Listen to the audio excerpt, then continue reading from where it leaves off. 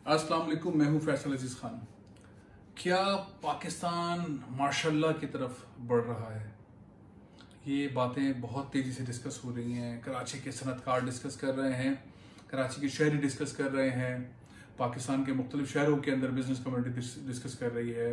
कुछ audio clips इस तरह के निकले हैं जिसके अंदर इस तरह की बात हो रही है कि सियासी हुकूमत महँगाई पर काबू करने में नाकाम रही है जितनी बार भी कोशिशें की हैं महँगाई बहुत ज़्यादा हुई सफ़ेद पोश लोग बहुत तंग हैं। उन्हें अभी गर्ज नहीं रहा कि इमरान खान वज़ीर अजम हैं या नवाज़ शरीफ हों या जरदारी साहब हों। कौन कितना चोर कितना करप्ट है आम आदमी को इस चीज़ों की परवाह अब नहीं रही। माशरे के अंदर आ, बहुत बेचैनी है। सफ़ेद पोश बहुत बुरी तरह मुतासर हो रहा है, निचला तबका बहुत बुरी तरह मुतासर हो रहा है और ये जो हकूमत का और अपोजिशन का एक महाजा राई है अफाम तफीम की सूरत हाल नहीं है मफाहमत की सूरत हाल नहीं है, मुल्क के अंदर और बाहर ख़तरात मंडला रहे हैं, दुश्मन पाकिस्तान के अंदर और बाहर टहल रहे हैं, सोशल मीडिया के ऊपर इस तरह की कैंपेन्स चल रही हैं, बहुत बहुत अजीब सी सूरत हाल है। तो क्या पाकिस्तानी आवाम ये ठीक सोच रहे हैं? ये गुफ्तु अब ठीक हो रही है कि फ़ौज को कंट्रोल ले लेना चाहिए। इमरान खान से चीज़ें नहीं चल रही हैं।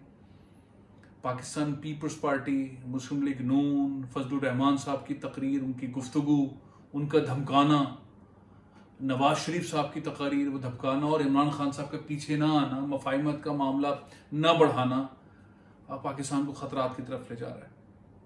अल्लाह ना करे, अल्लाह ना करे, अल्लाह ना करे ये सूरत हाल हो। फ़ौज बहुत मज़बूत सूरत हाल में लेकिन ख़तरात बॉर्डर के ऊपर भी हैं और अंदरून मुल्क भी जो है वो बहुत ऐसे ख़तरात हैं जो ज़ाहिर है कि पाकिस्तान को नुकसान पहुंचाना चाहते हैं और पाकिस्तान जिस तेज़ी से आगे बढ़ना चाहता है बड़ी बड़ी कुर्बानियों के बाद बड़े बड़े बड़े इम्तहानों के बाद रद्दुलफसाद ज़रब अज़ब जैसी मिसाली जो कोशिशें थी दहशत गर्दों को ख़त्म करने की वो तमाम चीज़ें ख़त्म हो गई और कभी किसी ने सोचा नहीं था कि कोई आपका मजहबी रहनुमा, आपका सियासी रहनुमा, जो आपके मुल्क में सदारती इंतबात के लिए मुकाबले में हो और जो कश्मीर कमेटी का सरबरा रहा हो, जिनके बारे में बहुत अच्छे ख्याल पाकिस्तानी रखते हैं, वो ये धमकी दे तालिबान को हम पाकिस्तान में इस तरह से करेंगे।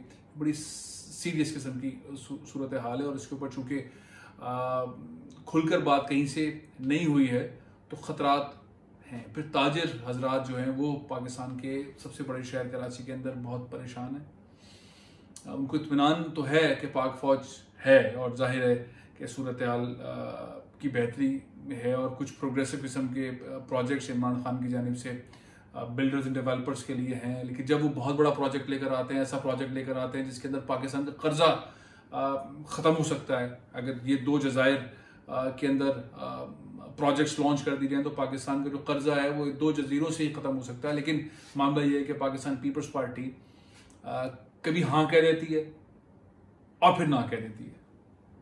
फिर हाँ कह के नोटिफिकेशन निकाल देती है, फिर माहौल देख के ना कर देती है। तो ये जो तरक्की की राह में रुकावटें डालने वाली पार्टियाँ हैं, शख्सियात हैं, जो मौका परस्त हैं, जो स्नैरियो को कैश करते हैं, वो सब नोट हो रहे हैं। और ज़ाहिर है कि महाज से महाज खोल रहे हैं। इसी सारी सूरत हाल के अंदर अगर हम कौमी इतिहाद की बात करें, इस सारी सूरत हाल में तो हमें कौमी इतिहाद मफाहमत की बहुत सारी चीज़ों के अंदर बहुत कमी दिख रही है। और एक ऐसी कमी दिख रही है जिसका पाकिस्तान को शदी ज़रूरत है इतिहाद की। बहुत सारे नुकतों के ऊपर पाकिस्तान को बहुत मुतहद होने की ज़रूरत है। कश्मीर के ऊपर जो गुफ्तु अपोजिशन कर रही है एक वक्त था, कश्मीर के ऊपर इतिहाद हुआ करता था वो इतिहाद नज़र नहीं आ रहा है। गिलगित बल्तिस्तान के सूबे से मुतल इतिहाद नज़र नहीं आ रहा है। सी पैक के ऊपर नुक़ एतराज़ हो रहा है इतिहाद नज़र नहीं आ रहा है। नवाज़ शरीफ साहब की जो तकारीर है, वो पाकिस्तान के अंदर इसकाम को बहुत नुकसान पहुँचा रही हैं। बिज़नेस कम्युनिटी बहुत ज़्यादा परेशान है। सूरत हाल उस तरह से देख नहीं रही, जिस तरह से दिखा करती थी। मैं बुनियादी तौर पर बहुत पॉजिटिविटी की बातें हमेशा करता हूँ। मुझे हर चीज़ पॉजिटिविटी के अंदर देखना पसंद है और मैं कोशिश करता हूँ कि लोगों को अच्छी सूरत हाल दिखाई जाए, लेकिन इसका मतलब हर किस ये नहीं कि जो ख़तरात मंडला रहे हों और दरवाजे पे दिख रहे हों, उन्हें डिस्कस ना किया जाए, उन्हें ना बताया जाए। इस वक्त जो मुल्क के अंदर इंतज़ार है, उसकी जिम्मेदार हमारी सियासी लीडरशिप है। उसमें इमरान खान नंबर वन पर हैं। वज़ीर आज़म होने के नाते उनकी रिस्पॉन्सिबिलिटी ज़्यादा बनती है कि वो अफाम व तफीम एक अम, एक भाईचारा, हुकूमत के साथ एक रिलेशनशिप कायम करने की एक मुकम्मल तौर पर कोशिश करें, जिसके अंदर वो बिल्कुल भी कामयाब नहीं है, उनकी कोशिशें उस तरह से नज़र भी नहीं आती हैं। दूसरी जानब जो अपोजिशन है, जिसके ऊपर करप्शन के और दीगर दीगर इल्ज़ाम हैं, और अदालतों में चलेंगे, साबित होंगे, उनको सजाएँ होंगी, या बार, पिली बार्गेनिंग करेंगे, या पैसा वापस करेंगे, ये सारी सूरत अपनी जगह पर, लेकिन इन तमाम चीज़ों की रोशनी के अंदर, जो पाकिस्तान के अंदर इस्तेकाम का मामला है उसको किसी तरह से डैमेज होता हुआ देखा जाए या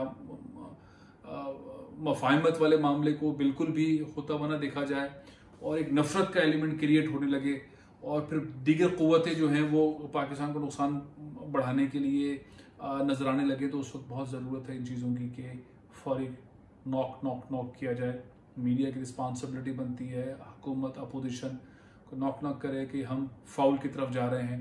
हम गलती की तरफ़ जा रहे हैं, पाकिस्तान ने बहुत आगे बढ़ना है, बहुत सारी चीज़ें पाकिस्तान में अच्छी हुई हैं, हो भी रही हैं, लेकिन ये बहुत बड़ी गलती है। कोविड नाइन्टीन पाकिस्तान में एक बार फिर उभर कर आया है। कहीं गलती ना हो, लोगों की जान ना चली जाए ख़वान बेवा ना हो जाएँ, बच्चे यतीम ना हो जाएँ, बूढ़े माँ बाप परेशान ना हो जाएँ तो एक हम, हमें एहतियात, सियासी जमातों के एहतियात की ज़रूरत है जो नज़र नहीं आ रही। और बहुत एक सख्त किस्म का इन्वायरमेंट है बिज़नेस कम्युनिटी बहुत परेशान है, सफ़ेद पोश बहुत परेशान है, महँगाई ने बहुत तंग कर रखा है। इतनी ज़्यादा महँगाई शायद पाकिस्तान की हिस्ट्री में नहीं थी और जितने ज़्यादा हुकूमत की नोटिस है, उतनी ज़्यादा महँगाई है। जितने ज़्यादा ऑर्डिनेंसेज आते हैं, जितने ज़्यादा वो आते हैं कि हम चीज़ों को महँगा नहीं होने देंगे स्मगलर्स को गिरफ़्तार करेंगे, लंबी लंबी सजाएँ देंगे, उतने ज़्यादा चीना, चीनी आटा और गंदम हम एक्सपोर्ट होता हुआ और स्मगल होता हुआ देख रहे हैं, मुसलसल इस तरह की चीज़ें। नोटिस हो रही हैं, पकड़ी जा रही हैं तो हुकूमत की रिट बहुत ज़रूरी है। सफ़ेद पोशों को, उनको एक एक एक एहसास दिलाने की ज़रूरत है हुकूमत की जानब से, इमरान खान की जानब से, जिसके अंदर कमी नज़र आ रही है। मुसलसल अद्वियात की कीमतों के अंदर हमने देखा सूरत हाल चार सौ फ़ीसद तक एक अजीब मंतक के तहत कीमतें बढ़ गई और ऐसी कीमतें बढ़ गई जो अब वापस अब तक नहीं ली गई हैं। तो सिनेरियो बहुत संजीदा है, बड़ा तशवीशनाक सूरत हाल है पाकिस्तान के अंदर। सियासी जमातों को बहुत एहतियात से संभल कर जमहूरीत का फ़ायदा ज़रूर उठाएँ, एहतजाज ज़रूर करें, लेकिन बहुत संभल कर सूरत हाल ठीक दिखाई नहीं दे रही। इंतशार नुकसान पहुँचा सकता है इंतशार कोई और मौका दे सकता है। फौज तैयार नहीं है मार्शल लगाने के लिए, कहीं से भी जन भाजपा की जानब से ऐसा ऐसा सूरत हाल, ऐसी सूरत हाल देखने को नहीं मिल रही। लेकिन लेकिन लेकिन अगर यही सियासी जमात है, इसी तरह का रवैया रखेंगी और खुदा न खासा दुश्मन को मौका मिलेगा तो सूरत कुछ भी हो सकती है। लेकिन पॉजिटिविटी की नोट के ऊपर चीज़ मैं ख़त्म करता हूँ कि बहुत अहतमाद के साथ इख्तलाफ राय रखें, नफरतें ना बढ़ाएँ। सियासी जमातों को भी इख्तलाफ इख्तलाफ राय रखना चाहिए, अपने अपने झंडे पे आगे बढ़ना चाहिए। आवाम को नफ़रतों की तरफ़ न धकेलें न धकेलें। अल्लाह ताला पाकिस्तान की हिफाजत करेगा इन इनशाला और सूरत हाल के ऊपर सोशल मीडिया पे आम पाकिस्तानी को बहुत एक्टिव होने की ज़रूरत है, क्योंकि बहुत सारे ख़तरात सोशल मीडिया के ज़रिए पाकिस्तान के घरों के अंदर दाखिल हो रहे हैं और नफ़रतों को उभार रहे हैं, लसानी नफ़रतों को उभार रहे हैं, मजहबी नफ़रतों को उभार रहे हैं, फ़ौज के ख़िलाफ़ नफ़रतों को उभार रहे हैं, सियासी लीडरान के ख़िलाफ़ नफ़रतों को उभार रहे हैं, ये सारे लीडरान बहुत इंपॉर्टेंट है, बहुत अच्छे लोग हैं। इल्ज़ाम हैं उनके ऊपर करप्शन के इल्ज़ाम होंगे, दीगर इल्ज़ाम होंगे, लेकिन वो इल्ज़ाम जब तक अदालत में साबित ना हो जाए, हमें उनकी इज़्ज़त, एहतराम, आबरू का ख्याल रखना बहुत ज़रूरी है। यहीं ख़त्म कर रहा हूँ इस अच्छे नोट पर इन फिर मुलाकात होगी। इजाज़त दीजिए।